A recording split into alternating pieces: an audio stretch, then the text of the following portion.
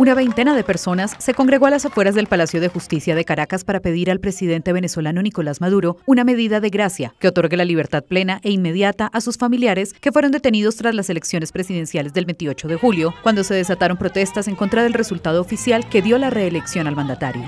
Dionexis García leyó una carta en la que resaltó que esta medida de gracia es especialmente urgente. Para aquellos que se encuentran en condiciones carcelarias, inhumanas y parecen ser, padecen serios problemas de salud.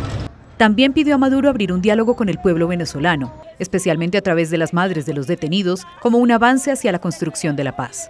Esperemos que esta medida se tome con rapidez y que podamos vivir una Navidad sin nuestros hijos tras las rejas.